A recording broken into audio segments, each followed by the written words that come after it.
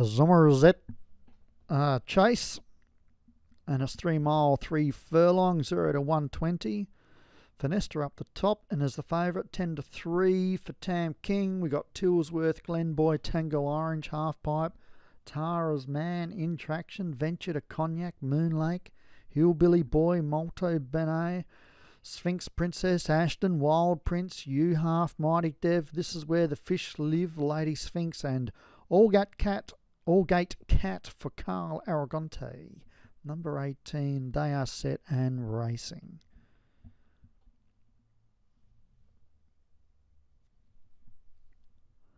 Zomerzet. A long, long time ago in my youth, I met a girl from Zomerzet. Zyder country. I can't do that accent at all, but I always thought it was funny with the, all the z, Zs. Anyway, we've lost a jockey, and this is where the fish live, is out of the race. So, Obi-Wan, Serious Jewel, bad luck, but you still have Tillsworth Glenboy. So take the next and a dodgy one there from Allgate Cat. Malto Benet is third. Down on the fence is Ashton. Over the third. A mighty Dev out wider on the track with a green and yellow cap, and just inside of it, Sphinx Princess. Wild Prince down towards the fence. Also down there is Lady Sphinx. Then Mighty Dev, we're on in traction at the moment. So we'll just let this play out and you can watch the horses around and hopefully you can see one of your horses.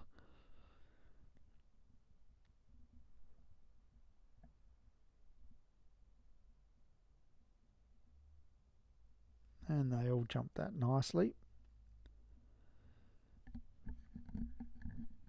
And we're back to race view and take the water jump. They're all fairly well packed. The last race they strung out a bit early, but here's a lot of traffic. They come on down to the seventh, and Allgate Cat walks through it. U half moves up, pokes ahead in front. Multi Benet third, They come to the ditch. Out wider as Fenestra. And that is the pre race favourite. Look at Ashton, Multi Benet, Lady Sphinx, Wild Prince. So roll over that one. A slow jump there by Mighty Dev. Probably interfered with Venture to Cognac a little bit.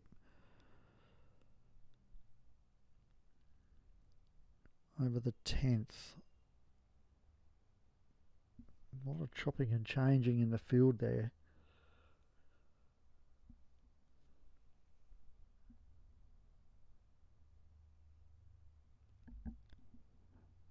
in these handicap type of races, it really does come. I think it does come down to that your horse just having the least um, interfered with ride. A horse that just sits pretty static, doesn't move back or forwards, doesn't get caught wide, doesn't get caught behind a runner, always has room to make its moves when it needs to make its moves. Just my thoughts anyway. So it's U half and Allgate Cat.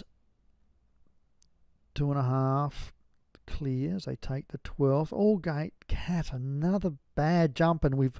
Oh, my horse has uh, dropped the jockey. Damn it. So U half jumps that one. Allgate Cat was a slow jump, but a safer jump. Malto Benet Ashton Fenestra. Across the track there, out a bit wider in traction. Lady Sphinx down towards the fence and half pipe. Then we've got Hillbilly Boys, Sphinx Princess, Venture to Cognac, Tillsworth, Glenboy, Tara's Man, and Moon Lake. And we come down, we've got a lap to go when we get to the winning post. And I don't know about you, but I'm like look, look liking the look of you half.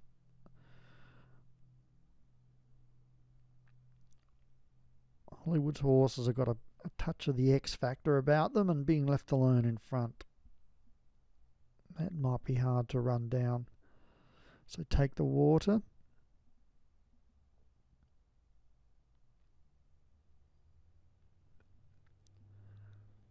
And you half cruising over the 17th. Oh, and another poor jump by Allgate Cat.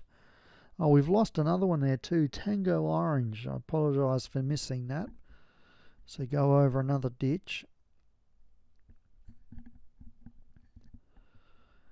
And getting pulled up at the tail, there's Moon Lake. So bad luck, Jim. That was your only runner as well. You'd be disappointed in that one, I'd say.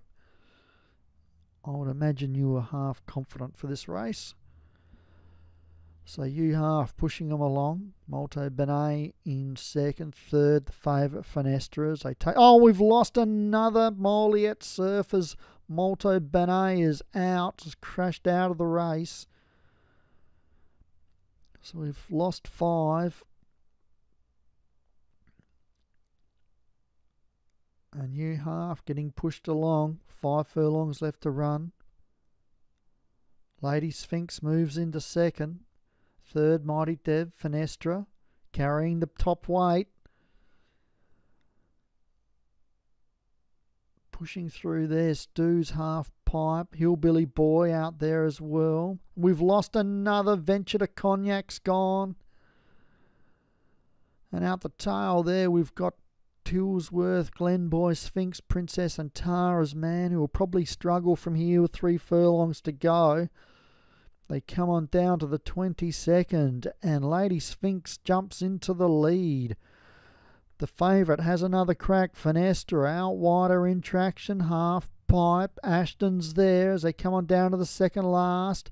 Oh, Hollywood's horse walk through it, you half, and that's the uh, that's called it a day, I would say.